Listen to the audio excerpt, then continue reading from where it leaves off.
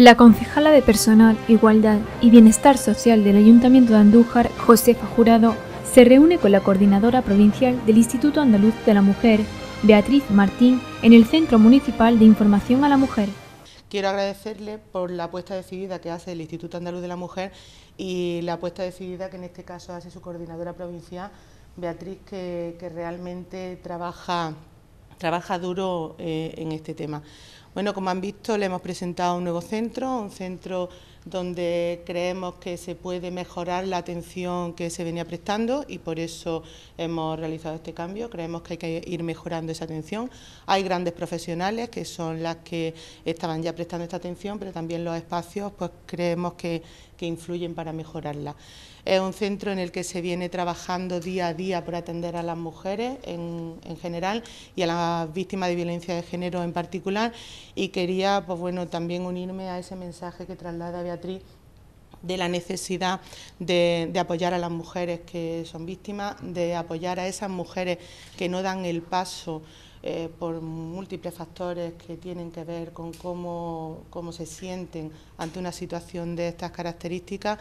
Y, bueno, dejar claro que es necesario que acudan, que es necesario que toda la sociedad la apoyemos para que, para que acudan y que aquí van a tener siempre una respuesta decidida del Ayuntamiento de Andújar y también decidida y apoyada siempre por el Instituto Andaluz de la Mujer. Eh, lo que queda de año, no específicamente solamente de aquí de Andújar, sino también formaciones que vamos a tener en la provincia y que van destinadas especialmente a tanto a las profesionales de los centros de la mujer como también a las concejalas. En este caso vamos a tener una formación para concejalas de todos los ayuntamientos de la provincia que va a ser en Baeza, en el centro Carmen de Burgos, el 26 de octubre. Es una formación importante ya que muchas veces, por desgracia, todavía las mujeres estamos en un mundo de hombres y es muy difícil poder defender nuestras posturas cuando nos sentamos a, discutir o a debatir con nuestros propios compañeros, pero que la gran mayoría de ellos son hombres. Y tenemos que dotarnos también desde el punto de vista nuestro propio de la fortaleza que tenemos que tener, de cómo trabajar eso, todas esas cosas. También vamos a ver todas las actuaciones y todos los proyectos que desde el Instituto Andaluz de la Mujer vamos a seguir desarrollando, como todo lo que tiene que ver con la atención psicológica, tanto de las menores como de las mujeres que ya no son menores, pero que son víctimas de violencia de género, la atención psicológica a esos hijos menores, que son también una parte fundamental y que en muchos de los casos no olvidamos de que están siendo también víctimas de esa violencia de género, toda la formación que hacemos con diferentes colectivos, no solamente con asociaciones de mujeres, sino también con profesorado. Vamos a ver todas las necesidades que también desde el ayuntamiento hoy nos trasladen en formación.